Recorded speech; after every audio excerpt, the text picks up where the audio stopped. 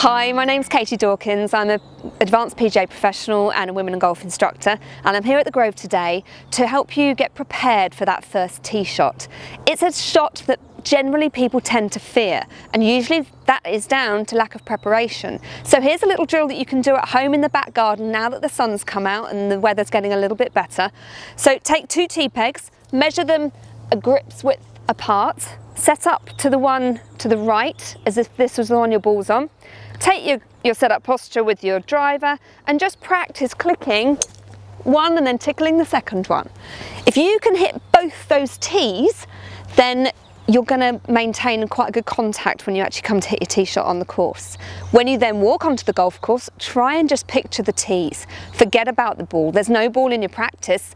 The ball doesn't need to come into the equation when you actually hit your shot off the tee. So have a little go at that. Almost pretend the ball isn't there. Think of it as a practice swing and you'll be a lot calmer as a result.